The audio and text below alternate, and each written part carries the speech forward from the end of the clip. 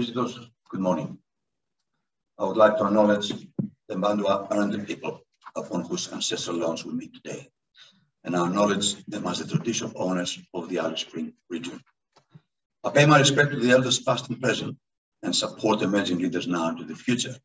And of course, LGANT is committed to working together with all indigenous people in the territory to care for this land and see for our safer future. I would like to sincerely thank the Alice Spring Town Council for hosting yesterday's President and Mayors and CEOs forums at their council offices, and in particular, the Mayor of Alice Springs, uh, newly elected, Matt Paterson, thank you very much. The Mayors, President and CEOs who participated, and I would like to acknowledge our Minister, unfortunately he's not here today due to a funeral, but also I'd like to acknowledge Damien Ryan, Damien Ryan, Ryan ex-mayor of Alice Springs and ex-president of LGANT, who is visiting here today. What a year has it been. In my first year as LGANT president, I was very keen to send a message to Commonwealth and territory government decision makers that we will not accept anything that's unfair, leads to inequality, and does not pass the pub test. That is, we will demand transparency and consistency in decision making that affects our local governments and our people. In an uncertain year, LGANT has been certainly very busy.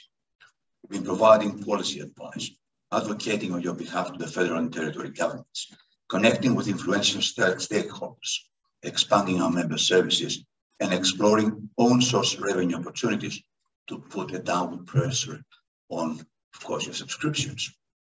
Today, I will touch on the impending federal election. The rumor has it it's going to be on the 5th of December, but certainly it has to be before May 2022. Removing conditional rating, COVID-19 and vaccinations, collaboration and intergovernmental relations, LGANT member council visits, policy and advocacy, and LGANT strategic plan. A key role of LGANT is positioning the local government sector as an important partner of the Northern Territory and Commonwealth governments. If the local government sector is better respected, trusted, and is understood that we're not just rubbish rates and roads, we have greater bargaining power. We can do this in many ways. One of these is actually to argue a lot, but the other is to demonstrate our value to other levels of government, working together in projects, programs, initiatives, reforms, and legislative requirements. Let me give you a couple of examples. The Local Government 2030 Strategy, the 2021 local government elections, the 2021 symposium we just had, and of course, closing the gap. Local Government 2030 Strategy, great strategy, and we're part of it. We're helping to develop it, and I was very pleased to hear and see quite a few of my colleagues, mayors and presidents, putting their hand up to participate in this development, because at the moment there's only one mayor and a lot of bureaucrats. In particular, I want to see people from remote areas. It's good enough for me to say what's good for Darwin, but I want to hear what's good for Borroloola or Tennant Creek or Alice Springs. Territory is not only Darwin. Territory starts from Port Keats and finishes in the borders with Queensland or even with the border with South Australia. The local government elections. The results of the 2021 local government elections are now official. And I would like to congratulate both returning and newly elected members. We've got 77 new elected council members, bringing experience, new ideas, and the will to change the world in 24 hours. That's not going to happen. We tried ourselves before the last elections didn't work out. The good thing is we have new members to bring new ideas, but we've got the old members that can help formulating these ideas to reality. We've got four new mayors and three new presidents. And of course, what I really like is we've got a lot of indigenous members. 87% of um, elected members now are indigenous, and some areas like Tiwi, um, the MacDonnell Regional Council, and West Arnhem Regional Council 100% of the elected members are indigenous members. This is our territory. This is our home. It's only fair that you represent your own people where you live. I hope you enjoy the symposium because I really did enjoy it. I got to meet a lot of you, a lot of the new members, and the most important is we get to know each other. So you know who to turn to when there's a problem, if you face one, if you want to read to have some assistance, built on our experience of the existing members. And at the end of the day, we also loved it because some of your ideas were brilliant. We've got the executive vacancies. Three of nine members of LGANT Executive did not contest the August council elections. And I'd like to thank you very much, Kirsty Sayers Hunt from Litchfield, Chris Civitarese from Barkly, and Peter Gates for Katherine, who decided not to stand for elections, so they're not elected members anymore. So the three council vacancies will be filled through an election at the AGM tomorrow. Another territorial commission will administer the count. This elected executive this November will serve in one year term. All positions of the LGANT executive will contest it in 2022 AGM. Very pleased to see how many nominations LGANT received to fill the three casual vacancies. 11 individual nominations are outstanding. And thank you very much because we don't want to be part of it. Don't complain if nothing happens. Be part of it to make things happen. LGANT Strategic Plan 2021-23. In January, your LGANT executive with the Secretariat developed a new strategic plan for the next three years. Together, we're working on finance, governance, and workforce, profile and reputation, economic development, climate, waste and environment, and Aboriginal outcomes. We start now a new tradition of exploring in depth one of the strategic priorities at each of the LGANT conferences. This year, we're exploring the environmental focus strategic priority. As you know, and as you noticed and read in the media, and you see what happened in Glasgow, climate is on top of our agenda for everybody, especially for some of our remote communities, the coastal communities, and the desert communities. But the reality is it's affecting all of us. This year, our conference are named Just Add Water. I find it crazy we live in the territory and we've got communities in the north of the territory when we receive three to four meters of rain for a year. They're struggling to have drinking water. We're communities now asking for desalination plants in the north of the territory. And the situation, of course, is grim in the center of the territory. So just that water and start talking about water for communities. It's very, very important. Next year theme will be economic development, another important theme. A key role of LGANT's executive is making connections. The most important connections are with its member councils. So myself, as CEO, drove to about eight of the 17th councils in the territory. He get to know a lot about Greek music, and he sings with me along when we're driving down there. Uh, he has to because I'm the driver and I choose the music. But the good thing is we've got a time. We took them the time, we found the time to cross our appointments out and decide we're going to go to Alice Springs, Tennant Creek, and everywhere else to meet people on the ground, on their turf. There's no much point in having an email. There's no much point in having a Zoom conference. I want to be there to see what they're talking about, the condition of their roads, the condition of their plans, the people they're working with, the people they're delivering services to. And we'll continue to do so. We apologize this time and we had to do a Zoom conference. We just couldn't get the flights to go there and come back. But we will come back and we'll get there and we'll talk to you. And I tend to drive, if necessary, to Timber Creek. I have no problem with that one. Take the days off, enjoy there, meet you in person, in place. Tiwi Islands just down the road. We can fly in one day and come back. But we will make it. Trust me, 17 councils, unfortunately, they have to put up with us in person. Um, it was interesting to hear the things that came out of these meetings. The social and economic impacts due to inadequate housing, the antisocial behaviors, the lack of reliable internet and mobile services, the funding and access to roads, I had some very good meetings after that because I had the NBN come and talk to me about reliable service to the bush. We're talking to them now because it doesn't matter where you live. You live in an Australian territory state. You deserve the same connectivity like I have in my house or somebody has in Alice Springs or in Tennant Creek, even if you live in Milingimbi, even if you live in Timber Creek or somewhere else. Economic development and inadequate housing I had a presentation the other day. AFL came and made a presentation for, to me of building a 350 million stadium in Darwin. They were not very happy when I told them I was not going to support it. Said, why? It's good for your city. I said, how am I going to go to the LGANT conference and tell them that we're going to build a 350 million stadium to be used six times a year in Darwin when people in communities sleep 20 in a bed? How can I tell them? Because I'm not, you're going to tell them. They start thinking about it again. I said that if the government decides to put the money in, I'll be the first to oppose it. You want to build one, find the money yourself and build it. But we soon get money out of the government that can be used for a better purpose.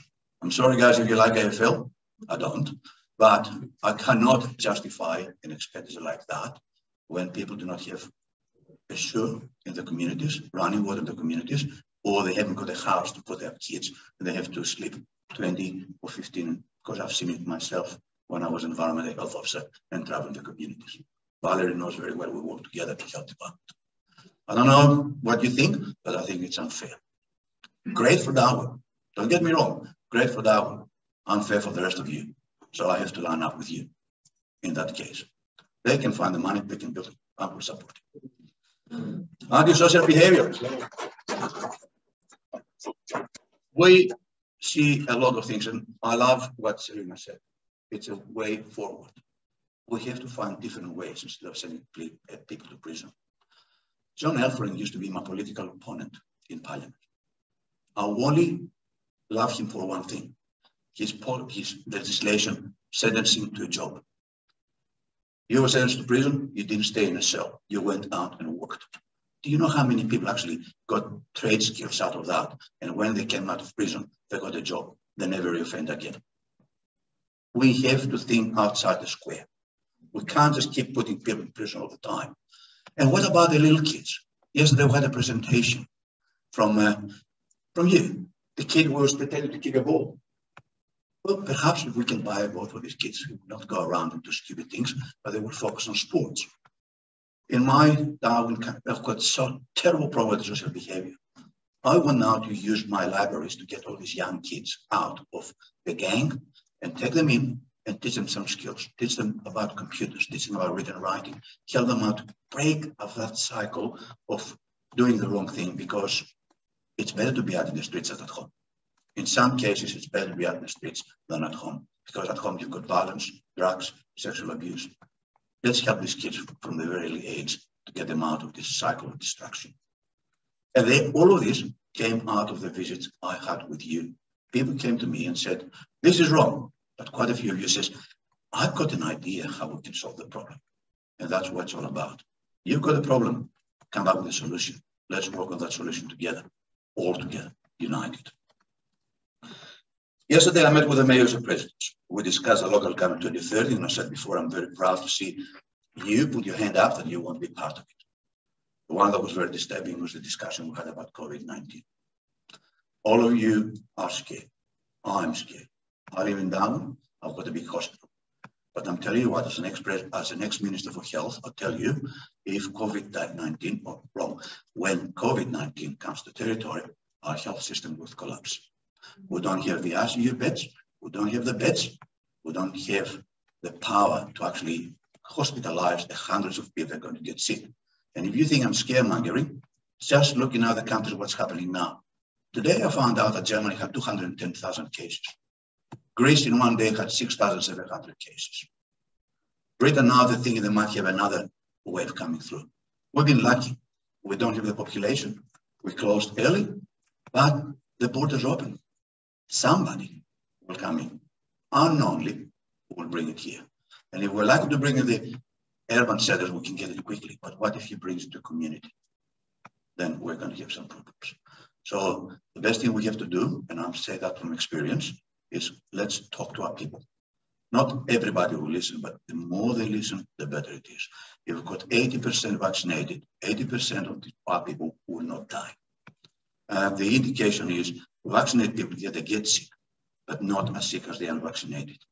Some people might die, but usually with pre-existing conditions. The majority of them lives, survives.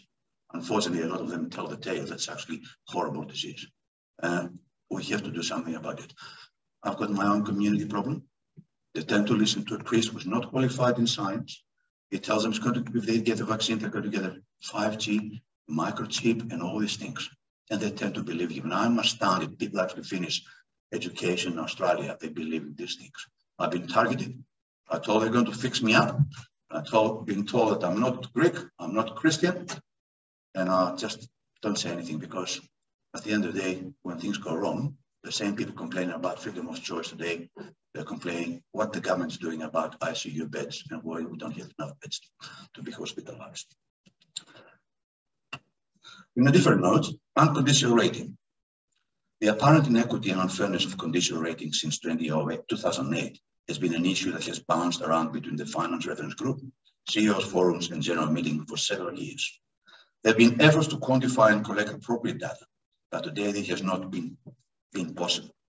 So what we decided, we decided that actually we put in a budget for a consultancy to be provided to provide an advocacy document. So we have to present something to government, something that stack up.